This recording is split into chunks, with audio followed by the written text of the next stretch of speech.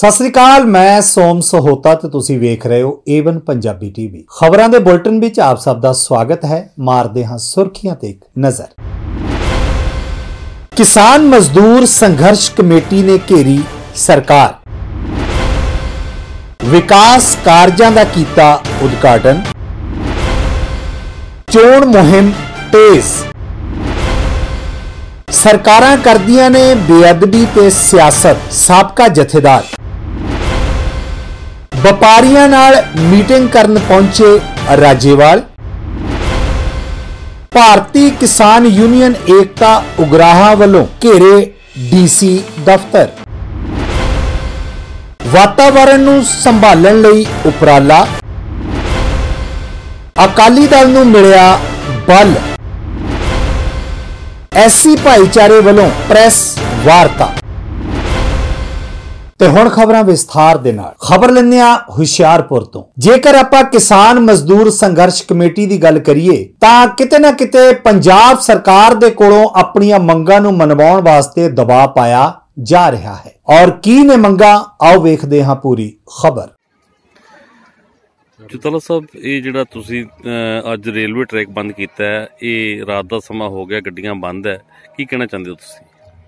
ਇਹਦੀ ਬਕਾਇਦਾ ਤੌਰ ਤੇ ਸਾਡੀ ਜਥੇਬੰਦੀ ਕਿਸਾਨ ਮਜ਼ਦੂਰ ਸੰਘਰਸ਼ ਕਮੇਟੀ ਦਾ ਪਹਿਲਾਂ ਹੀ ਫੈਸਲਾ ਹੈ ਵੀ ਜੇ ਸਰਕਾਰ ਸਾਡੀ ਗੱਲ ਨਹੀਂ ਸੁਣਦੀ ਤੇ ਫਿਰ ਅਸੀਂ ਰੇਲਵੇ ਟਰੈਕ ਇੱਕ ਦਿਨ ਵਾਸਤੇ ਨਹੀਂ, ਫਿਰ ਰੇਲਵੇ ਟਰੈਕ ਅਸੀਂ ਲੰਬਾ ਜਾਮ ਕਰਾਂਗੇ।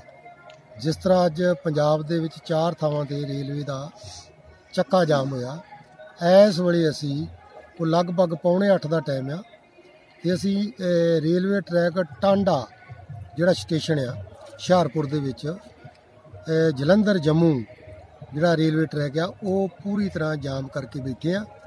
ਕਿਸਾਨ ਹੁਣ ਵੀ ਰੇਲਵੇ ਟਰੈਕ ਦੇ ਉੱਤੇ ਗੱਦੇ ਵਿਛਾ ਕੇ, ਚਾਦਰਾਂ ਲੈ ਕੇ, ਆਪਣੇ ਕੰਬਲ ਲੈ ਕੇ ਇਹ ਲੰਬੇ ਪਏ ਆ। ਕਿਉਂਕਿ ਸਰਕਾਰ ਲਗਾਤਾਰ ਆਪਣੀਆਂ ਮੰਗਾਂ ਤੋਂ ਭੱਜ ਰਹੀ ਹੈ ਜਿਹੜੀਆਂ ਕਿਸਾਨਾਂ ਨੇ ਉਹਨਾਂ ਨੂੰ ਮੰਗ ਪੱਤਰ ਦਿੱਤਾ। ਇਸ ਕਰਕੇ ਅਸੀਂ ਜਦੋਂ ਇੱਥੇ ਬੈਠੇ ਆ, ਅਸੀਂ ਸਰਕਾਰ ਨੂੰ ਕਹਿਣਾ ਚਾਹੁੰਦੇ ਹਾਂ ਵੀ ਜਿਹੜਾ ਕਰਜ਼ੇ ਦੀ ਗੱਲ ਆਪਣੀ ਹੋਈ ਆ ਮੰਗ ਪੱਤਰ ਤੁਹਾਨੂੰ ਸੌਂਪਿਆ ਉਹ ਕਰਜ਼ਾ ਮਾਫ ਕੀਤਾ ਜਾਵੇ। ਇਹ ਕਿਸਾਨਾਂ ਦੀ, ਗੰਨੇ ਦੀ ਬਕਾਇਆ ਰਕਮ ਜਿਹੜੀ ਆ ਜਾਰੀ ਕੀਤੀ ਜਾਵੇ ਤੇ 360 ਰੁਪਏ ਕਿਸਾਨਾਂ ਦੇ ਖਾਤਿਆਂ ਦੇ ਵਿੱਚ ਗੰਨੇ ਦਾ ਜੋ ਰੇਟ ਆ ਉਹ ਪਾਏ ਜਾਣ। ਖਬਰ ਲੈਂਦੇ ਕਰਪੂਥਲੇ ਤੋਂ। ਪੰਜਾਬ ਸਰਕਾਰ ਦੀ ਗੱਲ ਕਰੀਏ ਤੇ ਵਿਕਾਸ ਕਾਰਜਾਂ ਦਾ ਉਦਘਾਟਨ ਜਿਹੜਾ ਹੈ ਉਹ ਆਏ ਦਿਨ ਕਿਸੇ ਨਾ ਕਿਸੇ ਹਲਕੇ ਦੇ ਵਿੱਚ ਕਰਦੇ ਨਜ਼ਰ ਆ ਰਹੇ ਨੇ। ਜ਼ਿਲ੍ਹਾ ਕਪੂਰਥਲੇ ਦੀ ਗੱਲ ਕਰੀਏ ਤੇ ਇੱਥੇ ਵੀ ਕਰੀਬ ਕਰੀਬ 4 ਕਰੋੜ ਰੁਪਏ ਦੇ ਵਿਕਾਸ ਕਾਰਜਾਂ ਦੇ ਉਦਘਾਟਨ ਕੀਤੇ ਗਏ ਨੇ। ਔਰ ਜਿਹੜੇ ਵਿਕਾਸ ਕਾਰਜਾਂ ਦੇ ਉਦਘਾਟਨ ਕੀਤੇ ਗਏ ਨੇ ਉਸ ਦੇ ਉੱਪਰ ਬੋਲਦਿਆਂ ਰਾਣਾ ਗੁਰਜੀਤ ਸਿੰਘ ਸੋਢੀ ਵੱਲੋਂ ਕੀ ਕਿਹਾ ਗਿਆ ਹੈ ਤੁਸੀਂ ਸੁਣੋ।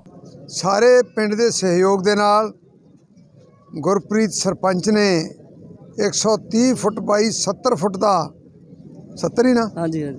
ਆ, ਇੱਕ ਕਮਿਊਨਿਟੀ ਹਾਲ ਬਣਾਇਆ ਔਰ ਬਾਹਰ ਗਾਰਡਨ ਬਹੁਤ ਵਧੀਆ ਬਣਾਇਆ ਔਰ ਕੁਆਲਿਟੀ ਕੰਸਟਰਕਸ਼ਨ ਆ ਹਾਈਟ ਪੂਰੀ ਆ ਔਰ ਇਹਦਾ ਫਾਇਦਾ ਨਾ ਕੇਵਲ ਆਰੀਆਂ ਵਾਲ ਨੂੰ ਬਲਕਿ ਆਲੇ ਦੁਆਲੇ ਦੇ 8-10 ਪਿੰਡਾਂ ਨੂੰ ਇਸ ਕਮਿਊਨਿਟੀ ਹਾਲ ਦਾ ਫਾਇਦਾ ਹੋਏਗਾ ਔਰ ਪੂਰਾ ਵਧੀਆ ਖੁੱਲਾ ਡੁੱਲਾ ਇਹ ਇਹਨਾਂ ਨੇ ਹਾਲ ਬਣਾਇਆ ਇਹਦੇ ਇਲਾਵਾ ਇਹਨਾਂ ਨੇ ਅੱਜ ਪੰਜ ਪ੍ਰੋਜੈਕਟਸ ਦੇ ਇਹਨੂੰ ਮਿਲਾ ਕੇ ਇੱਕ ਸਾਡੀ ਕਾਲਨੀ ਆ ਜਿਸ 'ਚ 80 ਪਲਾਟ ਕੱਟੇ ਆ ਪੰਜ ਪੰਜ ਮਰਲੇ ਦੇ। ਔਰ ਪਾਣੀ ਖੇਤਾਂ ਨੂੰ ਜਿਹੜਾ ਗੰਦਾ ਪਾਣੀ ਆ ਉਹਨੂੰ ਟਰੀਟ ਕਰਕੇ ਛੱਪੜ ਦਾ ਅਸੀਂ ਪਾਣੀ ਖੇਤਾਂ ਨੂੰ ਲਾਵਾਂਗੇ। ਔਰ ਜਿਹੜਾ ਮੈਂ ਸਮਝਦਾ ਸਹੀ ਉਪਰਾਲਾ ਔਰ ਆਉਣ ਵਾਲੇ ਸਮੇਂ 'ਚ ਸਾਨੂੰ ਪਾਣੀ ਬਚਾਉਣ ਦੀ ਗੱਲ ਕਰਨੀ ਪੈਣੀ ਆ, ਤਾਂ ਹੀ ਇਹ ਹਮੇਸ਼ਾ ਲਈ ਅਸੀਂ ਪਾਣੀ ਪੰਜਾਬ ਦਾ ਵਰਤ ਪਾਵਾਂਗੇ। ਉਹਦੇ ਇਲਾਵਾ ਦੋ ਪ੍ਰੋਜੈਕਟ ਹੋ ਰਿਹਾ। ਇੱਕ ਸੀਵਰੇਜ ਪਾਇਆ ਜੀ। ਇੱਕ ਸੀਵੇਜ ਸੂਏਜ ਜਿਹੜਾ ਗਲੀਆਂ 'ਚ ਤੇ ਗਲੀਆਂ ਬਣਾਈਆਂ। ਤੇ ਸਰਪੰਚ ਨੇ ਤਨਦੇਹੀ ਨਾ ਸਕੂਲ ਸਕੂਲ ਦਾ ਜੀ ਸਕੂਲ ਦਾ ਫਿਰ ਸੁੰਦਰੀਕਰਨ ਉਹਦੇ ਸੁੰਦਰੀਕਰਨ ਕੀਤਾ ਉਹਦੇ ਬਾਅਦ ਸਾਹਮਣੇ ਪਾਰਕ ਬਣਾਈ ਆ। ਇਦਾਂ ਦਾ ਕੰਮ ਮੇ ਤੋਂ ਗੁਨਾਹ ਹੀ ਨਹੀਂ ਹੋਣਾ। ਖਬਰ ਲੈਂਦੇ ਹਾਂ ਕਪੂਰਥਲੇ ਤੋਂ। ਚੋਣ ਮੁਹਿੰਮ ਤੇਜ਼ ਕਰ ਦਿੱਤੀ ਗਈ ਹੈ ਹਰ ਇੱਕ ਪਾਰਟੀ ਵੱਲੋਂ। 2022 ਦੀਆਂ ਚੋਣਾਂ ਨੂੰ ਮੱਦੇਨਜ਼ਰ ਰੱਖਦਿਆਂ ਹੋਇਆਂ ਹਰ ਇੱਕ ਪਾਰਟੀ ਵੱਲੋਂ ਦਾਅਵੇ ਕੀਤੇ ਜਾ ਰਹੇ ਨੇ ਆਪਣੀ ਜਿੱਤ ਨੂੰ ਲੈ ਕੇ। ਲੇਕਿਨ ਕਿਸ ਤਰ੍ਹਾਂ ਚੋਣ ਮੁਹਿੰਮ ਜਿਹੜੀ ਹੈ ਉਹ ਤੇਜ਼ ਕੀਤੀ ਗਈ ਹੈ ਔਰ ਖਾਸ ਕਰਕੇ ਜੇ ਗੱਲ ਕਰੀਏ ਸ਼੍ਰੋਮਣੀ ਅਕਾਲੀ ਦਲ ਤੇ ਬਸਪਾ ਦੀ ਔਰ ਉਹਨਾਂ ਦੀ ਮੁਹਿੰਮ ਕਿਸ ਤਰ੍ਹਾਂ ਦੀ ਹੈ, ਆਓ ਵੇਖਦੇ ਹਾਂ ਪੂਰੀ ਖਬਰ। ਤੁਸੀਂ ਅਕਾਲੀ ਦਲ ਦੇ ਸੀਨੀਅਰ ਲੀਡਰ ਹੋ, ਤਾਂ ਜਿਵੇਂ ਗੱਲ ਕੀਤੀ ਜਾਵੇ 2022 ਦੇ ਇਲੈਕਸ਼ਨ ਦੇ ਵਿੱਚ ਕੀ ਏਜੰਡੇ ਰਹੋਗੇ? ਜਿਹੜੀ ਕਿ ਅੱਜ ਤੁਹਾਡੀ ਮੀਟਿੰਗ ਵੀ ਹੋਈ ਆ, ਕੀ ਏਜੰਡੇ ਰਹੋਗੇ ਜਿਹੜੇ ਕਿ ਸ਼ਹਿਰ ਦੇ ਲਈ? ਸਭ ਤੋਂ ਪਹਿਲਾਂ ਗੁਰੂ ਫਤਿਹ ਸਾਂਝੀ ਵਾਹਿਗੁਰੂ ਜੀ ਕਾ ਖਾਲਸਾ, ਸ੍ਰੀ ਵਾਹਿਗੁਰੂ ਜੀ ਕੀ ਫਤਿਹ। ਮੈਂ ਜਗਜੀਤ ਸਿੰਘ ਛੰਮੀ, ਸ਼੍ਰੋਮਣੀ ਅਕਾਲੀ ਦਲ ਜ਼ਿਲ੍ਹੇ ਦਾ ਸੀਨੀਅਰ ਮੀਤ ਪ੍ਰਧਾਨ। ਜਿੱਦਾਂ ਅੱਜ ਸਾਡੇ ਸ਼ਹਿਰ ਦੀ ਵਾਰਡਾਂ ਦੀ 50 ਵਾਰਡਾਂ ਦੇ ਸਾਬਕਾ ਐਮਸੀ ਜਿਨ੍ਹਾਂ ਇਲੈਕਸ਼ਨ ਲੜੀਆਂ ਜਾਂ ਜਿੱਤੇ ਹਰੇ, ਸਾਰੇ ਇਕੱਠੇ ਹੋਏ। ਇਹ ਜਿਹੜੀ ਮੀਟਿੰਗ ਅਸੀਂ ਅੱਜ ਕੀਤੀ, ਸਰਦਾਰ ਦਵਿੰਦਰ ਸਿੰਘ ਢਪਈ ਸਾਹਿਬ ਦੀ ਅਗਵਾਈ ਥੱਲੇ ਕੀਤੀ, ਸ਼ਹਿਰੀ ਪ੍ਰਧਾਨ ਦੀ ਅਗਵਾਈ ਥੱਲੇ ਕੀਤੀ, ਅਸੀਂ ਵੱਖ-ਵੱਖ ਵਾਰਡਾਂ ਵਾਸਤੇ ਜਿਹੜੀ ਪਲੈਨਿੰਗ ਕੀਤੀ 2022 ਚ ਜੋ 5 ਜਨਵਰੀ ਨੂੰ ਇਲੈਕਸ਼ਨ ਕੋਲ ਲੱਗ ਰਿਹਾ, ਉਹਦੇ ਸਮਾਜ ਮੀਟਿੰਗ ਰੱਖੀ। ਸਾਰੇ ਵਰਕਰਾਂ ਨੂੰ ਵੱਖ-ਵੱਖ ਵਾਰਡਾਂ ਡਿਊਟੀਆਂ ਲਾ ਦਿੱਤੀਆਂ ਗਈਆਂ। ਹਰ ਬੂਥ ਤੇ 11-11 ਮੈਂਬਰੀ ਕਮੇਟੀ ਬਣੂਗੀ। ਗਾਂ ਆਪਣੀ ਪਾਰਟੀ ਦਾ ਪ੍ਰਚਾਰ ਕਰਨਗੇ ਗਾਂ ਮੀਟਿੰਗਾਂ ਕਰਨਗੇ। ਗਾਂ ਸਰਦਾਰ ਦਵਿੰਦਰ ਸਿੰਘ ਢਪਈ ਜਿਤਾਣਗੇ ਵਾਹਿਗੁਰੂ ਜੀ ਕਾ ਖਾਲਸਾ ਤੇ ਸ਼੍ਰੀ ਵਾਹਿਗੁਰੂ ਜੀ ਕੀ ਫਤਿਹ। ਉਹਦਾ ਨਹੀਂ ਖਬਰ ਲੈਂਦੇ ਹਾਂ ਲੁਧਿਆਣੇ ਤੋਂ। ਸਰਕਾਰਾਂ ਬੇਅਦਬੀ ਤੇ ਸਿਰਫ ਤਾਂ ਸਿਰਫ ਸਿਆਸਤ ਕਰਦੀਆਂ ਨੇ। ਇਹ ਕਿਹਾ ਹੈ ਜੀ ਸਾਬਕਾ ਜਥੇਦਾਰ ਸਾਹਿਬ ਨੇ। ਪਿਛਲੇ ਦਿਨੀ ਸ਼੍ਰੀ ਦਰਬਾਰ ਸਾਹਿਬ ਦੇ ਵਿੱਚ ਬੇਅਦਬੀ ਦੀ ਕੋਸ਼ਿਸ਼ ਨੂੰ ਲੈ ਕੇ ਉਸ ਸ਼ਖਸ ਵੱਲੋਂ ਜੋ ਮਤਲਬ ਕਰਨ ਦੀ ਕੋਸ਼ਿਸ਼ ਕੀਤੀ ਗਈ, ਲੇਕਿਨ ਮੌਕੇ ਤੇ ਜਿਹੜੇ ਸੇਵਾਦਾਰ ਵੀਰ ਸੀਗੇ, ਉਹਨਾਂ ਵੱਲੋਂ ਉਸ ਨੂੰ ਦਬੋਚਿਆ ਗਿਆ ਔਰ ਬਾਅਦ ਵਿੱਚ ਉਸ ਨੂੰ ਖਤਮ ਕਰ ਦਿੱਤਾ ਗਿਆ। ਔਰ ਇਸ ਨੂੰ ਲੈ ਕੇ ਤਰ੍ਹਾਂ ਤਰ੍ਹਾਂ ਦੀ ਬਿਆਨਬਾਜ਼ੀ ਜਿਹੜੀ ਉਹ ਸਾਹਮਣੇ ਆ ਰਹੀ ਹੈ ਔਰ ਸਰਕਾਰ ਦੇ ਉੱਪਰ ਕਿਸ ਤਰ੍ਹਾਂ ਵਰੇ ਨੇ ਸਾਬਕਾ ਜਥੇਦਾਰ ਜੀ, ਆਓ ਵੇਖਦੇ ਹਾਂ ਪੂਰੀ ਖਬਰ। ਪਰ ਉਹਦਾ ਹਾਲੇ ਤੱਕ ਕੋਈ ਰਿਜ਼ਲਟ ਨਹੀਂ ਆਇਆ, ਕੋਈ ਫੈਸਲਾ ਨਹੀਂ ਹੋਇਆ। ਸੰਗਤਾਂ ਦੇ ਵਿੱਚ ਇਸ ਗੱਲ ਦਾ ਬੜਾ ਰੋਸ ਹੈ ਵੀ ਜਿਹੜੇ ਦੋਸ਼ੀ ਫੜ ਕੇ ਪੁਲਿਸ ਨੂੰ ਫੜਾਏ ਗਏ, ਪੁਲਿਸ ਨੇ ਉਹ ਤੇ ਕੋਈ ਕਾਰਵਾਈ ਨਹੀਂ ਕੀਤੀ। ਜੇ ਕਾਰਵਾਈ ਕੀਤੀ ਤਾਂ ਇੰਨਾ ਹੀ ਕਿਹਾ ਕਿ ਇਨ- ਇਹਨਾਂ ਦਾ ਦਿਮਾਗੀ ਤਵਜਨ ਠੀਕ ਨਹੀਂ ਸੀ ਤੇ ਉਹਨੂੰ ਜੇਲ੍ਹ ਭੇਜ ਦਿੱਤਾ ਗਿਆ। ਜੇਲ੍ਹ 'ਚ 2 ਮਹੀਨਿਆਂ ਬਾਅਦ ਉਹ ਜ਼ਮਾਨਤ ਤੇ ਬਾਹਰ ਆ ਜਾਂਦੇ ਸੀ ਤੇ ਇਸ ਤਰ੍ਹਾਂ ਸੰਗਤਾਂ ਦੇ ਰੋਸ ਵੱਧਦੇ ਜਾ ਰਹੇ ਸੀ। ਫਿਰ ਅਸੀਂ ਮੀਟਿੰਗ ਦੇ ਵਿੱਚ ਇੱਕ ਸੁਝਾਅ ਦਿੱਤਾ ਸੀ ਕਿ ਜਥੇਦਾਰ ਅਕਾਲ ਤਖਤ ਸਾਹਿਬ ਨੂੰ ਇੱਕ ਸ਼ਕਤੀਸ਼ਾਲੀ ਕਮੇਟੀ ਬਣਾਉਣੀ ਚਾਹੀਦੀ ਆਪਦੇ ਅਧਿਕਾਰਾਂ ਥੱਲੇ। ਬੇਸ਼ੱਕ ਉਹਦੀ ਜਿਹੜੀ ਹੈ ਤਫਤੀਸ਼ ਪੁਲਿਸ ਕਰੇ, ਪਰ ਜਦੋਂ ਬੰਦਾ ਜੇਲ੍ਹ ਕੱਟ ਕੇ ਬਾਹਰ ਆਵੇ, ਜ਼ਮਾਨਤ ਤੇ ਆਵੇ, ਉਹਨੂੰ ਜਥੇਦਾਰ ਅਕਾਲ ਤਖਤ ਤਲਬ ਕਰੇ, ਉਹਦੀ ਬੈਕਗ੍ਰਾਉਂਡ ਸਾਰੀ ਸਮਝੇ, ਉਹਦੀ ਸਾਜ਼ਿਸ਼ ਨੂੰ ਸਮਝੇ, ਉਹ- ਉਹਦੀ ਪੁੱਛ ਪੜਤਾਲ ਸਿੱਖ ਰਵਾਇਤਾਂ ਮੁਤਾਬਕ ਕੀਤੀ ਜਾਵੇ। ਪਰ ਇਹਦੇ ਤੇ ਕੋਈ ਅਸਰ ਨਹੀਂ ਹੋਇਆ। ਫਿਰ ਸ਼੍ਰੋਮਣੀ ਕਮੇਟੀ ਦਾ ਵੀ ਇਹ ਬਹੁਤ ਵੱਡਾ ਖੇਤਰ ਹੈ। ਅਸਲ ਇਹ ਸਾਰੀ ਕਾਰਵਾਈ ਆਪਣੇ ਹੱਥ 'ਚ ਲੈਣੀ ਚਾਹੀਦੀ ਸੀ ਜਥੇਦਾਰ ਅਕਾਲ ਤਖਤ ਸਾਹਿਬ ਨੂੰ। ਇਹ ਨਹੀਂ ਲਈ ਗਈ, ਤਾਂ ਫਿਰ ਬਹੁਤ ਲੰਬੀ ਢੀਕ ਤੋਂ ਬਾਅਦ ਸੰਗਤਾਂ ਨੇ ਇਹ ਸਾਰੀ ਕਾਰਵਾਈ ਨੂੰ, ਕਿਉਂਕਿ ਗੁਰੂ ਗ੍ਰੰਥ ਸਾਹਿਬ ਦੀ ਜਿੱਥੇ ਬੇਅਦਬੀ ਹੁੰਦੀ ਹੈ, ਉੱਥੇ ਸਿੱਖ ਦੀ ਕੀ ਜ਼ਿੰਦਗੀ ਰਹਿ ਗਈ ਮਗਰ। ਸਿੱਖ ਸੰਗਤਾਂ ਨੇ ਆਪਣੇ ਹੱਥ ਵਿੱਚ ਇਹ ਆਪ ਫੈਸਲਾ ਲੈ ਲਿਆ ਕਿ ਬਹੁਤ ਵਾਰ ਅਸੀਂ ਦੋਸ਼ੀ ਫੜ ਫੜ ਕੇ ਪੁਲਿਸ ਨੂੰ ਫੜਾਏ ਆ। ਕਾਨੂੰਨੀ ਕਾਰਵਾਈ ਕੋਈ ਹੁੰਦੀ ਨਹੀਂ। ਇਸ ਕਰਕੇ ਦਿੱਲੀ ਮੋਰਚੇ ਦੇ ਵਿੱਚ ਵੀ ਨਿਹੰਗ ਸਿੰਘਾਂ ਨੇ ਉੱਥੇ ਬੇਅਦਬੀ ਕਰਨ ਵਾਲੇ ਬੰਦੇ ਨੂੰ ਸੋਧ ਦਿੱਤਾ ਸੀ। ਫਿਰ ਹਰਮੰਦਰ ਸਾਹਿਬ ਦੇ ਵਿੱਚ ਵੀ ਬੜੇ ਸ਼ਰਾ- ਸ਼ਰਾਰਤਪੂਰਨ ਢੰਗ ਦੇ ਨਾਲ ਉਸ ਦੋਸ਼ੀ ਨੇ ਜੰਗਲਾ ਟੱਪ ਕੇ ਸ਼ਰਾਰਤ ਕਰਨ ਦੀ ਕੋਸ਼ਿਸ਼ ਕੀਤੀ, ਪਤਾ ਨਹੀਂ ਉਹ ਕੀ ਕਰਦਾ, ਸਿੰਘ ਸਾਹਿਬ ਜਿਹੜਾ ਰਹਿ ਦਾ ਪਾਠ ਕਰ ਰਿਹਾ ਸੀ, ਉਹਨੂੰ ਕਤਲ ਕਰਦਾ ਜਾਂ ਕਿਸੇ ਰਾਗੀ ਸਿੰਘ ਤੇ ਹਮਲਾ ਕਰਦਾ ਜਾਂ ਗੁਰੂ ਗ੍ਰੰਥ ਸਾਹਿਬ ਦੀ ਬੇਅਦਬੀ ਕਰਦਾ, ਪਰ ਸੇਵਾਦਾਰ ਨੇ ਤੁਰੰਤ ਹੀ ਕਾਰਵਾਈ ਕਰਦਿਆਂ ਉਹਨੂੰ ਦਬੋਚ ਲਿਆ ਔਰ ਸਿੱਖ ਰਵਾਇਤਾਂ ਅਨੁਸਾਰ ਉਹਦੀ ਕਾਰਵਾਈ ਹੋਈ। ਉਸ ਤੋਂ ਬਾਅਦ ਕੱਲ ਫੇਰ ਆਪਣੇ ਕਪੂਰਥਲਾ ਜ਼ਿਲ੍ਹੇ ਦੇ ਵਿੱਚ ਉਹ ਉੱਥੇ ਵੀ ਨਿਜ਼ਾਮਪੁਰ ਦੇ ਵਿੱਚ ਵੀ ਸੰਗਤਾਂ ਇਕੱਠੀਆਂ ਹੋਈਆਂ ਪਰ ਰੋਸ ਇੰਨਾ ਸੀ ਕਿ ਉਹ ਪੁਲਿਸ ਨੂੰ ਕਹਿ ਰਹੇ ਸੀ ਕਿ ਤੁਸੀਂ ਜਨਤਕ ਫੈਸਲਾ ਕਰੋ ਕੀ ਕਰਦੇ ਆ? ਅਸੀਂ ਤੁਹਾਨੂੰ ਬੰਦਾ ਦੇ ਦਿੰਨੇ ਆ। ਉਹ ਕਹਿੰਦੇ ਵੀ ਅਸੀਂ ਕਾਨੂੰਨੀ ਕਾਰਵਾਈ ਕਰ ਸਕਦੇ ਹਾਂ ਤੋਂ ਵੱਧ ਅਸੀਂ ਕੁਝ ਕਰ ਨਹੀਂ ਸਕਦੇ। ਫਿਰ ਕਹਿੰਦੇ ਤੁਸੀਂ ਜਾਓ ਅਸੀਂ ਆਪ ਹੀ ਕਾਰਵਾਈ ਕਰਾਂਗੇ। ਕਾਫੀ ਚਿਰ ਤਕਰਾਰ ਚੱਲਦਾ ਰਿਹਾ। ਉਹਦੇ ਤੋਂ ਬਾਅਦ ਕਿਉਂਕਿ ਹੁਣ ਅੱਜ ਵੀ ਜਿਹੜਾ ਡੀਆਈਜੀ ਦਾ ਬਿਆਨ ਆਇਆ ਵੀ ਉਹ ਤੇ ਚੋਰੀ ਕਰਨ ਦੇ ਇਰਾਦੇ ਨਾਲ ਆਇਆ ਸੀ, ਬੇਅਦਬੀ ਕਰਨ ਦੇ ਇਰਾਦੇ ਨਾਲ ਨਹੀਂ ਆਇਆ ਸੀ। ਕੀ ਉਹ ਪੁਲਿਸ ਨੂੰ ਦੱਸ ਕੇ ਆਇਆ ਸੀ ਵੀ ਮੈਂ ਚੋਰੀ ਕਰਨਾ ਹੈ? ਚੋਰੀ ਕਰਨਾ ਹੈ ਤੇ ਗੁਰਦੁਆਰੇ ਚੋਰੀ ਕਰਨਾ ਹੈ ਸੀ। ਜੇ ਗੁਰਦੁਆਰੇ ਚੋਰੀ ਕਰਨ ਵੀ ਆਇਆ ਸੀ ਤਾਂ ਉਹਦਾ ਇਲਾਜ ਠੀਕ ਹੋ ਗਿਆ ਫਿਰ। ਉਹ ਨਿਸ਼ਾਨ ਸਾਹਿਬ ਤੇ ਚੜਿਆ ਗ੍ਰੰਥੀ ਸਿੰਘ ਨੂੰ ਵੇਖ ਕੇ ਉੱਤਰ ਕੇ ਲੁੱਕ ਗਿਆ, ਭੱਜ ਗਿਆ, ਫਿਰ ਉਹਨੂੰ ਲੱਭਿਆ ਤੇ ਪੁਲਿਸ ਬਿਨਾਂ ਤਫਤੀਸ਼ ਤੋਂ, ਬਿਨਾਂ ਕਿਸੇ ਆਧਾਰ ਤੋਂ ਕਹਿੰਦੀ ਹੈ ਕਿ ਨਹੀਂ ਤਾਂ ਚੋਰੀ ਕਰਨੀ ਆਇਆ ਸੀ। ਉਹਨਾਂ ਨੂੰ ਕੀ ਇਲਮ ਹੈ ਕਿ ਬੇਅਦਬੀ ਕਰਨ ਨਹੀਂ ਆਇਆ ਸੀ? ਇਸ ਕਰਕੇ ਜਿਹੜੀਆਂ ਇਹ ਅੱਜ ਵੀ ਅਸੀਂ ਇਹ ਨਹੀਂ ਕਹਿ ਸਕਦੇ ਕਿ ਇਹਦੇ ਤੋਂ ਬਾਅਦ ਘਟ- ਇਹੋ ਜਿਹੀ ਘਟਨਾ ਨਹੀਂ ਹੋਵੇਗੀ। ਤੁਰੰਤ ਸ੍ਰੀ ਅਕਾਲ ਤਖਤ ਦੇ ਜਥੇਦਾਰ ਸਾਹਿਬ ਨੂੰ ਪੰਥਕ ਜਥੇਬੰਦੀਆਂ ਸੱਦ ਕੇ ਇੱਕ ਸੁਪਰ ਪਾਵਰ ਕਮੇਟੀ ਬਣਾਉਣੀ ਚਾਹੀਦੀ ਹੈ, ਜਿਹਦਾ ਅਧਿਕਾਰ ਸਾਰਾ ਜਥੇਦਾਰ ਦਾ ਹੋਵੇ ਆਪਦਾ। ਉਹ ਤਫਤੀਸ਼ ਕਰਨ। ਲੰਮੀ ਤਫਤੀਸ਼ ਚੱਲੇ। ਉਨੀ ਦੇਰ ਤੱਕ ਬੰਦਾ ਉਹਨਾਂ ਦੀ ਗ੍ਰਿਫਤ ਵਿੱਚ ਰਵੇ। ਪਰ ਜਿਹੜੀ ਆਹ ਕਾਰਵਾਈ ਹੁੰਦੀ, ਹੁਣ ਇੱਕਦਮ ਨਿੰਦਾ ਕਰਦੇ ਆ ਜੀ, ਇਹਦਾ ਐਡਾ ਦੋਸ਼ ਨਹੀਂ ਸੀ ਜਿੱਡਾ ਇਹਨੂੰ ਸਜ਼ਾ ਦੇ ਦਿੱਤੀ ਗਈ। ਪਰ ਇਹ ਤੋਂ ਇਲਾਵਾ ਰਾਹ ਕੀ ਹੈ? ਪੁਲਿਸ ਸਿਰਫ ਇੰਨਾ ਹੀ ਕੰਮ ਕਰਦੀ ਹੈ ਪੁਲਿਸ ਕਿਸੇ ਨੂੰ 20 ਸਾਲ ਸਜ਼ਾ ਕਰ ਦਿੰਦੀ ਕਿਉਂਕਿ ਸੁਪਰੀਮ ਕੋਰਟ ਨੇ ਗੁਰੂ ਗ੍ਰੰਥ ਸਾਹਿਬ ਜੀ ਨੂੰ ਰੁਤਬਾ ਦਿੱਤਾ ਕਿ ਜੀਵਤ ਗੁਰੂ ਹੈ। ਤੇ ਇਹਦੇ ਇਹਦੇ ਬਾਵਜੂਦ ਕਾਨੂੰਨੀ ਕਾਰਵਾਈ ਵੀ ਨਹੀਂ ਹੋ ਰਹੀ। ਇਸ ਕਰਕੇ ਜੇ ਬੇਅਦਬੀਆਂ ਨਾ ਰੁਕੀਆਂ ਤੇ ਉਹਨਾਂ ਦਾ ਹਸ਼ਰ ਇਹੀ ਹੋਊਗਾ ਔਰ ਇਹੀ ਸਹੀ ਰਾਹ ਹੈ। ਜੱਦਾ ਸਾਹਿਬ ਸਿਆਸਤਦਾਨਾਂ ਦੇ ਰੋਲ ਨੂੰ ਕਿਵੇਂ ਦੇਖ ਰਹੇ ਹੋ? ਕਿਉਂਕਿ ਇੱਕ ਤੋਂ ਬਾਅਦ ਇੱਕ ਦੂਜੀ ਸਰਕਾਰ ਆਉਂਦੀ ਹੈ ਪਰ ਇਨਸਾਫ ਨਹੀਂ ਮਿਲਦਾ ਨਾ ਬੇਅਦਬੀਆਂ ਦੇ ਮੁੱਦੇ ਤੇ ਰਾਜਨੀਤੀ ਜ਼ਰੂਰ ਹੁੰਦੀ ਹੈ ਪਰ ਸਜ਼ਾ ਨਹੀਂ ਦਵਾ ਪਾਉਂਦੇ ਕਿਸੇ ਵੀ ਦੋਸ਼ੀ ਨੂੰ। ਦੇਖੋ ਇਹਦੇ ਤੇ ਸਰਕਾਰਾਂ ਬਦਲੀਆਂ ਲੰਮਾ ਚਿਰ ਰਾਜ ਰਿਹਾ, ਪਰ ਉਹ ਹਮੇਸ਼ਾ ਸਿੱਟ ਬਣਾਉਂਦੇ ਆ। ਸਿੱਟ ਦਾ ਜਦੋਂ ਨੇੜਾ ਆਉਂਦਾ ਹੈ, ਉਦੋਂ ਕੋਈ ਨਾ ਕੋਈ ਬਹਾਨਾ ਬਣਾ ਕੇ ਕੇਸ ਦੀ ਬਦਲੀ ਕਰ ਦਿੰਦੇ ਆ। ਕਿਤੇ ਉਹ ਵਿਜੀਲੈਂਸ ਨੂੰ ਦੇ ਦਿੰਦੇ ਆ, ਕਿਤੇ ਸੀਬੀਆਈ ਨੂੰ ਦੇ ਦਿੰਦੇ ਆ। ਇਸ ਤਰ੍ਹਾਂ ਉਹਨਾਂ ਉਹਨਾਂ ਨਾਲ ਇਹ ਸਿਆਸਤ ਨਾਲ ਪਿਆਰ ਹੈ, ਉਹਨਾਂ ਦਾ ਗੁਰੂ ਨਾਲ ਪਿਆਰ ਨਹੀਂ। ਅੱਜ ਵੀ ਸੀਐਮ ਸਾਹਿਬ ਨੇ ਕਿਹਾ ਕਿ ਅਸੀਂ 2 ਦਿਨਾਂ 'ਚ ਹੀ ਸਾਰਾ ਫੈਸਲਾ ਦੇ ਦਾਂਗੇ। ਮੈਂ ਉਹਨਾਂ ਨੂੰ ਮੁਬਾਰਕਬਾਦ ਦਿੰਦਾ, ਜੇ ਉਹ 2 ਦਿਨਾਂ 'ਚ ਫੈਸਲਾ ਦੇ ਦੇਣ, ਵੀ ਇਹਦੇ ਪਿੱਛੇ ਸਾਜ਼ਿਸ਼ ਕਿਹਦੀ ਹੈ? ਬੰਦਾ ਕੋਈ ਯੂਪੀ ਤੋਂ ਆਉਂਦਾ ਕੋਈ ਬਿਹਾਰ ਤੋਂ ਆਉਂਦਾ ਹੈ, ਜਿਹੜੇ ਅਸੀਂ ਮੋਰਚੇ 'ਚ ਵੀ ਬੰਦਾ ਫੜਿਆ, ਉਹਨੇ ਵੀ ਕਿਹਾ ਕਿ ਅਸੀਂ 30 ਜਾਣੇ ਆ। ਉਹਦੀ ਕੀ ਤਫਤੀਸ਼ ਹੋਈ? ਇਹ ਵੀ ਜਿਹੜਾ ਫੜਿਆ, ਇਹ ਕਹਿੰਦਾ ਅਸੀਂ 10 ਜਾਣੇ ਆ।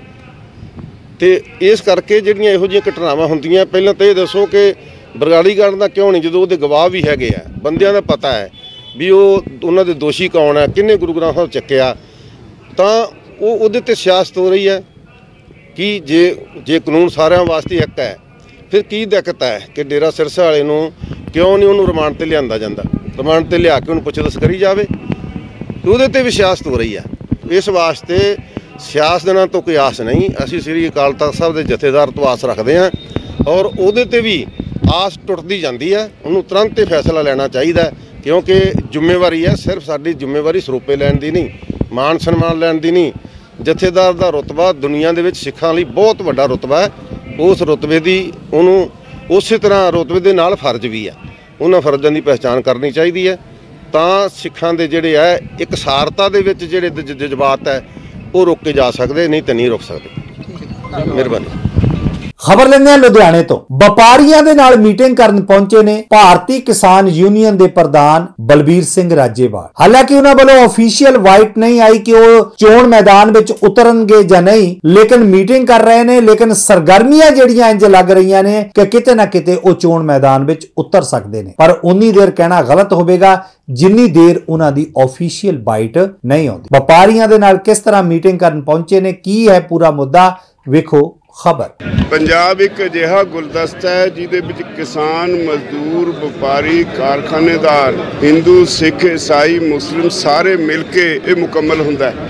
ਜਦੋਂ ਵੀ ਇਹ ਕਿਸੇ ਨੇ ਇਸ ਗੁਲਦਸਤੇ ਨਾਲ ਛੇੜਛਾੜ ਕੀਤੀ, ਤਾਂ ਉਹਨੂੰ ਹਮੇਸ਼ਾ ਮੂੰਹ ਦਿਖਾਣੀ ਪਈ ਹੈ। ਪੰਜਾਬ ਦਾ ਇੱਕ ਵੱਖਰਾ ਪੰਜਾ- ਮਜਾਜ਼ ਹੈ, ਪੰਜਾਬ ਦੀ ਕਲਚਰ ਵੱਖਰੀ ਹੈ ਔਰ ਇਸੇ ਦਾ ਨਤੀਜਾ ਹੈ ਜਿਹੜਾ ਪਿਛਲੇ 1 ਸਾਲ, ਸਵਾ ਸਾਲ ਪਹਿਲਾਂ ਮੋਰਚਾ ਅਸੀਂ ਲਾਇਆ ਸੀ। ਉਹਦੇ ਵਿੱਚ ਸਾਰੇ ਵਰਗ ਸਮਾਜ ਦੇ ਸ਼ਾਮਲ ਹੋ ਕੇ ਉਹ ਮੋਰਚਾ ਜਿੱਤਿਆ ਗਿਆ। ਅ, ਮੈਂ ਧੰਨਵਾਦੀਆਂ ਇੰਡਸਟਰੀ ਟ੍ਰੇਡ ਵਾਲੇ ਵੀਰਾਂ ਦਾ ਜਿਨ੍ਹਾਂ ਨੇ ਸਾਨੂੰ ਇੱਥੇ ਬੁਲਾ ਕੇ ਹੌਸਲਾ ਦਿੱਤਾ ਪਿਆਰ ਦਿੱਤਾ ਉਹਦੇ ਲਈ ਮੈਂ ਇੱਥੇ ਆਇਆ। ਮੈਂ ਉਮੀਦ ਕਰਦਾ ਇਹ ਸਾਰੇ ਰਲ ਮਿਲ ਕੇ ਅੱਗੋਂ ਅੱਗੋਂ ਤੋਂ ਇਸੇ ਤਰ੍ਹਾਂ ਇਹ ਪੰਜਾਬ ਦੇ ਗੁਲਦਸਤੇ ਨੂੰ ਹੋਰ ਮਜ਼ਬੂਤ ਬਣਾਉਣ। ਖਬਰ ਲੈਂਦੇ ਹਾਂ ਮੋਗੇ ਵੱਲੋਂ। ਭਾਰਤੀ ਕਿਸਾਨ ਯੂਨੀਅਨ ਏਕਤਾ ਉਗਰਾਹਾਂ ਵੱਲੋਂ ਡੀਸੀਜ਼ ਆਫਿਸ ਘੇਰੇ ਜਾ ਰਹੇ ਨੇ। ਆਪਣੀਆਂ ਮੰਗਾਂ ਨੂੰ ਲੈ ਕੇ ਕੀ ਮਤਲਬ ਉਹ ਕਹਿ ਰਹੇ ਨੇ ਔਰ ਕਿਸ ਤਰ੍ਹਾਂ ਦੀਆਂ ਮੰਗਾਂ ਨੇ ਵੇਖੋ ਪੂਰੀ ਖਬਰ।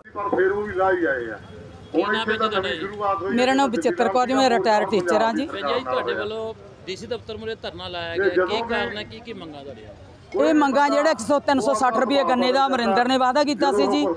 ਤੇ ਇੱਕ 17000 ਜਿਹੜਾ ਏਕੜ ਦਾ ਪਿੰਕ ਸੁੰਡੀ ਦਾ ਨਰਮੇ ਦਾ ਵਾਅਦਾ ਕੀਤਾ ਸੀ। ਇੱਕ ਘਰ ਘਰ ਰੋਜ਼ਗਾਰ ਤੇ ਨਸ਼ੇ ਮੁਕਤ। ਤੇ ਕਰਜ਼ਾ ਮੁਕਤ। ਇਹਨਾਂ ਨੇ ਬਹੁਤ ਵਾਅਦੇ ਕੀਤੇ ਸੀ। ਇਹਨਾਂ ਨੇ ਸਾਡਾ ਕੋਈ ਵਾਅਦਾ ਪੂਰਾ ਨਹੀਂ ਕੀਤਾ। 5 ਲੱਖ ਜਿਹੜਾ ਸਾਡੇ 750 ਬੰਦਾ ਦਿੱਲੀ ਸ਼ਹੀਦ ਹੋ ਗਿਆ, ਉਹਦੇ ਮੁਆਵਜ਼ੇ ਦੀ ਗੱਲ ਕੀਤੀ ਸੀ। ਉਹ ਸਾਡੇ ਪਹਿਲਾਂ ਪਿੰਡ ਦੇ ਤਲਵੰਡੀ ਮੱਲੀਆਂ ਦਾ, ਮੇਰੇ ਪਿੰਡ ਦਾ ਮੁੰਡਾ ਇੱਕ ਬੰਦਾ ਜਿਹੜਾ ਸ਼ਹੀਦ ਹੋਇਆ, ਉਹਨੂੰ ਅਜੇ ਤੱਕ ਨਾ 5 ਲੱਖ, ਨਾ ਕੋਈ ਰੁਜ਼ਗਾਰ ਮਿਲਿਆ।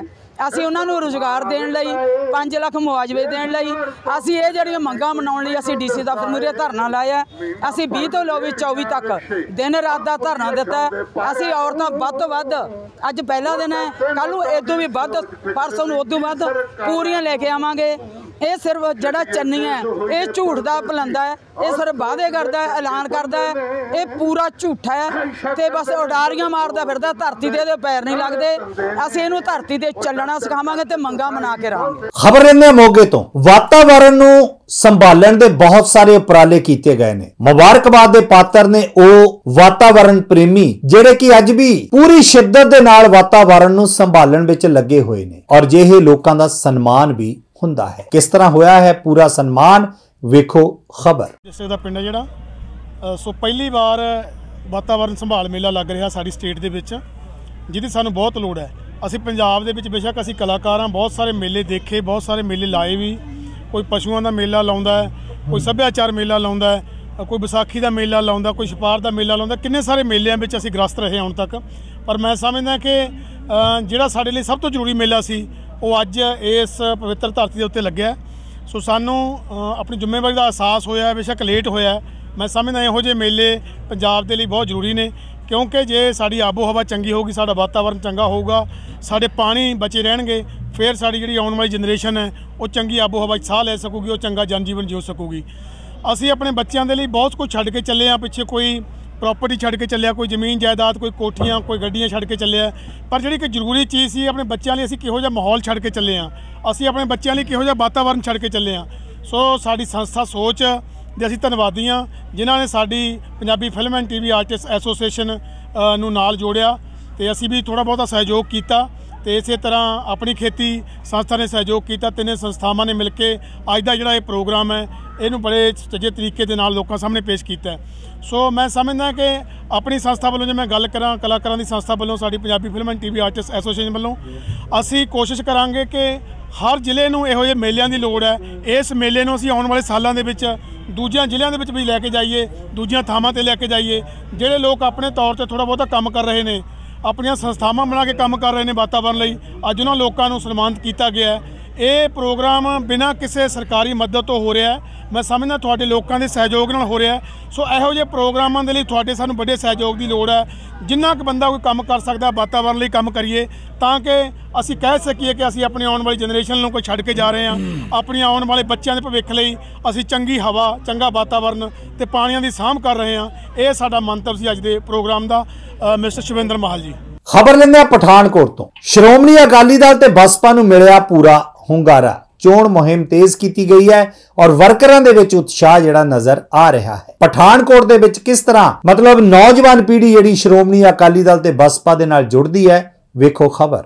ਵਾਹਿਗੁਰੂ ਜੀ ਕੀ ਫਤਿਹ। ਅੱਜ ਅਸੀਂ ਗੁਰਦੁਆਰਾ ਬਾੜ ਸਾਹਿਬ ਵਿਖੇ ਧੰਨ ਬਾਬਾ ਸ਼੍ਰੀ ਚੰਦ ਜੀ ਦੇ ਤਪ ਸਥਾਨ ਤੇ ਨਤਮਸਤਕ ਹੋਣ ਆਏ ਹਾਂ। ਕਿਉਂਕਿ ਸਾਡੀ ਪਾਰਟੀ ਦਾ ਵਿਸਤਾਰ ਕਰਦੇ ਹੋਏ ਪਾਰਟੀ ਪ੍ਰਧਾਨ ਸਰਦਾਰ ਸੁਖਬੀਰ ਸਿੰਘ ਬਾਦਲ ਜੀ ਮਾਝੇ ਦੇ ਜਰਨੈਲ ਵਿਕਰਮਜੀਤ ਸਿੰਘ ਮਜੀਠੀਆ ਜੀ ਦੇ ਸਲਾਹਾਂ ਦੇ ਨਾਲ ਸਾਡੇ ਐਸਓਆਈ ਦੇ ਪੰਜਾਬ ਦੇ ਪ੍ਰਧਾਨ ਰੋਬਿਨ ਬਰਾੜ ਜੀ, ਉਹਨਾਂ ਦੀ ਦੂਰਅੰਦੇਸ਼ੀ ਅਤੇ ਸਾਡੇ ਜ਼ਿਲ੍ਹੇ ਦੇ ਆਬਜ਼ਰਵਰ ਗੁਰਬਚਨ, ਸਰਦਾਰ ਗੁਰਬਚਨ ਸਿੰਘ ਬੱਬੇ ਵਾਲੀ ਜੀ ਦੇ ਸਹਿਯੋਗ ਦੇ ਨਾਲ ਨਵਦੀਪ ਜੀ ਨੂੰ ਐਸਓਆਈ ਦਾ ਭੋਏ ਦਾ ਪ੍ਰਧਾਨ ਨਿਯੁਕਤ ਕੀਤਾ ਗਿਆ ਹੈ। ਔਰ ਉਹ ਕਰਕੇ ਅਸੀਂ ਗੁਰੂ ਮਹਾਰਾਜ ਦੇ ਅੱਗੇ ਨਤਮਸਤਕ ਹੋਣ ਆਏ ਹਾਂ। ਔਰ ਉਹਦੇ ਨਾਲ ਹੀ ਸਾਡੇ ਜਿਹੜੇ ਅੰਮ੍ਰਿਤਪਾਲ ਸਿੰਘ ਜੀ ਹੈ ਇਹਨਾਂ ਨੂੰ ਜੇਐਨਡੀਯੂ ਨਰੋੜ ਜੈਮਲ ਸਿੰਘ, ਜਿਹੜੀ ਆਪਣਾ ਕਾਲਜ ਹੈ, ਉੱਥੇ ਯੂਥ ਦਾ ਇਹਨਾਂ ਨੂੰ ਕਾਲਜ ਦਾ ਪ੍ਰਧਾਨ ਬਣਾਇਆ ਜਾਂਦਾ ਹੈ ਐਸਓਆਈ ਦਾ। ਔਰ ਉਹਦੇ ਨਾਲ ਸਾਡੇ ਬੜੇ ਸੀਨੀਅਰ ਅਕਾਲੀ ਲੀਡਰ ਜਿਹੜੇ ਕਿ ਬੜੇ ਲੰਬੇ ਸਮੇਂ ਤੋਂ ਅਕਾਲੀ ਦਲ 'ਚ ਆਪਣੀਆਂ ਸੇਵਾਵਾਂ ਦਿੰਦੇ ਰਹੇ ਨੇ, ਦਿੰਦੇ ਆਏ ਨੇ। ਸਰਦਾਰ ਦਰਸ਼ਨ ਸਿੰਘ ਜੀ, ਉਹਨਾਂ ਨੂੰ ਸੀਨੀਅਰ ਵੱਡੇ ਅਕਾਲੀ ਦਲ ਦਾ ਸੀਨੀਅਰ ਮੀਤ ਪ੍ਰਧਾਨ ਨਿਯੁਕਤ ਕੀਤਾ ਜਾਂਦਾ ਹੈ। ਔਰ ਉਸ ਵਿਸ਼ੇ ਤੇ ਅਸੀਂ ਇੱਥੇ ਮਤ- ਨਤਮਸਤਕ ਹੋਣ ਆਏ ਹਾਂ। ਗੁਰੂ ਮਹਾਰਾਜ ਦਾ ਆਸ਼ੀਰਵਾਦ ਲੈ ਕੇ ਗੁਰੂ ਮਹਾਰਾਜ ਦੀ ਓਟ ਲੈ ਕੇ ਅੱਗੇ ਗਾਂ ਨੂੰ ਅੱਗੇ ਪਾਰਟੀ ਵਾਸਤੇ 2022 ਦੇ ਇਲੈਕਸ਼ਨਾਂ ਦੀ ਤਿਆਰੀ ਵਾਸਤੇ ਇਹ ਸਾਰਾ ਪ੍ਰੋਗਰਾਮ ਕੀਤਾ ਜਾ ਰਿਹਾ। ਉਹ ਸਾਰਾ ਜਿੰਨਾ ਵੀ ਸੰਗਠਨ ਹੈ, ਜਿੰਨਾ ਵੀ ਟੀਮ ਦੀ ਤਿਆਰੀ ਹੋ ਰਹੀ ਹੈ, ਇਹ ਆਪਣਾ 29 ਤਰੀਕ ਨੂੰ ਜਿੱਥੇ ਤੱਕ ਮੇਰੀ ਆਵਾਜ਼ ਜਾ ਰਹੀ ਹੈ, ਸਾਰਿਆਂ ਅੱਗੇ ਇੱਕ ਅਪੀਲ ਵੀ ਹੈ ਕਿ ਪੋਏ ਹਲਕੇ 'ਚ 29 ਤਰੀਕ ਨੂੰ ਪਾਰਟੀ ਪ੍ਰਧਾਨ ਸਰਦਾਰ ਸੁਖਬੀਰ ਸਿੰਘ ਬਾਦਲ ਜੀ ਆ ਰਹੇ ਨੇ ਔਰ ਹਲਕੇ ਪੋਏ ਦੇ ਵਿੱਚ ਇੱਕ ਬੜਾ ਵੱਡੇ ਸਤਰ ਤੇ ਇੱਕ ਪ੍ਰੋਗਰਾਮ ਕੀਤਾ ਜਾਏਗਾ ਔਰ ਉਸ ਉਸ ਦਿਨ ਤੋਂ ਬਾਅਦ ਉਹ ਵੀ ਦਿਖਾਇਆ ਜਾਏਗਾ ਮਾਹੌਲ ਬਦਲੇਗਾ ਕਿ ਹਾਂ ਵੀ ਸ਼੍ਰੋਮਣੀ ਬਹੁਜਨ ਸਮਾਜ ਪਾਰਟੀ ਦੀ ਜਿਹੜੀ ਆਪਣੇ ਅਪ- ਪੋਏ ਹਲਕੇ ਦੀ ਸੀਟ ਆ, ਔਰ ਅਸੀਂ ਜਿੱਤ ਕੇ ਸ਼੍ਰੋਮਣੀ ਅਕਾਲੀ ਦਲ ਦੀ ਬਹੁਜਨ ਸਮਾਜ ਪਾਰਟੀ ਦੀ ਜਿਹੜੀ ਸਰਕਾਰ ਬਣਨ ਜਾ ਰਹੀ ਹੈ ਔਰ ਜਿਹਦੇ ਮੁੱਖ ਮੰਤਰੀ ਸਰਦਾਰ ਸੁਖਬੀਰ ਸਿੰਘ ਬਾਦਲ ਬਾਦਲ ਜੀ ਬਣਨ ਜਾ ਰਹੇ ਨੇ, ਅਸੀਂ ਉਹਨਾਂ ਦੀ ਝੋਲੀ 'ਚ ਪਾਵਾਂਗੇ। ਧੰਨਵਾਦ।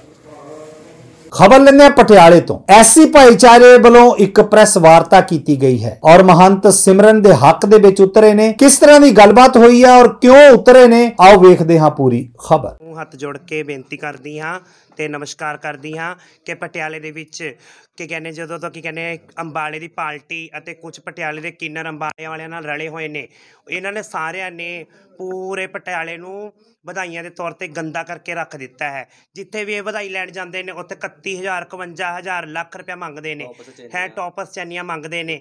ਤੇ ਇਹ ਸਰਾਸਰ ਗਲਤ ਹੈ। ਤੇ ਪਟਿਆਲੇ ਦੇ ਸਾਰੇ ਵਾਸ ਸ਼ਹਿਰ ਵਾਸੀਆਂ ਨੂੰ ਮੈਂ ਹੱਥ ਜੋੜ ਕੇ ਬੇਨਤੀ ਕਰਦੀ ਹਾਂ ਵੀ ਇਹਨਾਂ ਨੂੰ 1100 500 ਰੁਪਏ ਤੋਂ ਉੱਪਰ ਵਧਾਈ ਨਾ ਦਿੱਤੀ ਜਾਵੇ ਔਰ ਨਾਲੇ ਇਹਨਾਂ ਨੇ ਕੀ ਕਹਿੰਦੇ ਜਦ ਤੋਂ ਪਟਿਆਲੇ ਵਾਲੇ ਅੰਬਾਲੇ ਵਾਲੇ ਪਟਿਆਲੇ ਦੇ ਵਿੱਚ ਆਏ ਨੇ ਅੰਬਾਲੇ ਦੀ ਪਾਰਟੀ ਜੋ ਕਿੰਨਰ ਨੇ ਉਹ ਪਟਿਆਲੇ ਦੇ ਵਿੱਚ ਜਦੋਂ ਐਂਟਰ ਕੀਤਾ ਉਹਨਾਂ ਨੇ ਕੋਈ ਕਿਸੇ ਦਾ ਵੀ ਮਰਡਰ ਹੁੰਦਾ ਹੈ ਚੱਕ ਕੇ ਮੇਰੇ ਮਤਲਬ ਸਿਮਰਨ ਗੁਰੂ ਜੀ ਦਾ ਨਾਮ ਰੱਖ ਦਿੱਤਾ ਜਾਂਦਾ ਹੈ।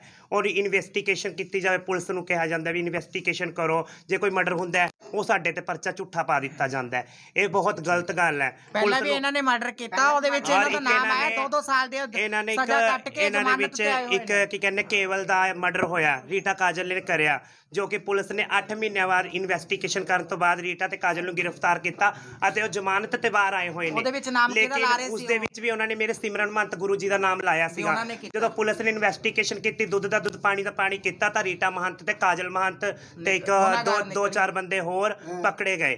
ਤੇ ਨਾਲੇ ਕੀ ਕਹਿੰਦੇ ਨੇ ਇਹ ਸੀ ਹੁਣ ਤੱਕ ਦੀ ਅਪਡੇਟ ਨਵੀਆਂ ਤੇ ਤਾਜ਼ਾ ਖਬਰਾਂ ਲਈ ਜੁੜੇ ਰਹੋ ਏਵਨ ਪੰਜਾਬੀ ਟੀਵੀ ਦੇ ਨਾਲ। ਫ੍ਰੀ ਲੀਫ ਆਯੁਰਵੈਦਿਕ ਆਇਲ 125 ਬਿਮਾਰੀਆਂ ਦਾ ਸੰਪੂਰਨ ਇਲਾਜ ਜਿਵੇਂ ਗਠੀਆ ਸਰਵਾਈਕਲ ਮਾਈਗ੍ਰੇਨ ਅਤੇ ਸਰੀਰ ਵਿੱਚ ਕਿਸੇ ਵੀ ਕਿਸਮ ਦੀ ਦਰਦ ਕਿਉਂ ਨਾ ਹੁੰਦੀ ਹੋਵੇ, ਇੱਥੋਂ ਤੱਕ ਕਿ ਬਲੌਕੇਜ ਦੇ ਨਾਲ ਬਣੀਆਂ ਕਈ ਬਿਮਾਰੀਆਂ ਦਾ ਇੱਕੋ ਇੱਕ ਇਲਾਜ ਹੈ ਫ੍ਰੀ ਰਿਲੀਫ ਆਯੁਰਵੈਦਿਕ ਆਇਲ ਯਾਨੀ ਕਿ 125 ਬਿਮਾਰੀਆਂ ਦਾ ਸੰਪੂਰਨ ਇਲਾਜ। ਫ੍ਰੀ ਰਿਲੀਫ ਵਿਜ਼ੀਲੈਕਸ weight ਲੂਜ਼ ਮੋਟਾਪੇ ਤੋਂ ਪਰੇਸ਼ਾਨ ਹੋਣ ਦੀ ਜ਼ਰੂਰਤ ਨਹੀਂ। ਵਜ਼ਨ ਘਟਾਓ ਤੇ ਖੁਸ਼ ਹੋ ਜਾਓ। Free relief power. ਮਰਦਾਨਾ ਕਮਜ਼ੋਰੀ ਨੂੰ ਖਤਮ ਕਰਦਾ ਹੈ ਤੇ ਨਰਕ ਭਰੀ ਜ਼ਿੰਦਗੀ ਵਿੱਚ ਲਿਆਉਂਦਾ ਹੈ ਰੌਣਕ। Free relief power. ਕਬਜ਼ ਤੋਂ ਪਰੇਸ਼ਾਨ ਹੋਣ ਦੀ ਹੁਣ ਜ਼ਰੂਰਤ ਨਹੀਂ ਹੈ। ਕਬਜ਼ ਤੋਂ ਛੁਟਕਾਰਾ ਪਾਉਣ ਲਈ ਆ ਗਿਆ। ਕਬਜ਼ ਹਰ ਚੂਰਨ। ਕਬਜ਼ ਹਰ ਚੂਰਨ ਨੂੰ ਅਪਣਾਓ ਤੇ ਕਬਜ਼ ਤੋਂ ਛੁਟਕਾਰਾ ਪਾਓ। ਹੁਣ ਤੱਕ ਲੱਖਾਂ ਮਰੀਜ਼ ਲੈ ਚੁੱਕੇ ਨੇ ਫਾਇਦਾ। ਵਧੇਰੇ ਜਾਣਕਾਰੀ ਲਈ ਤੁਸੀਂ ਸੰਪਰਕ ਕਰ ਸਕਦੇ ਹੋ 94784 84087 ਨੰਬਰ ਇੱਕ ਵਾਰ ਫਿਰ ਤੁਸੀਂ ਨੋਟ ਕਰ ਸਕਦੇ ਹੋ 9478 48 4087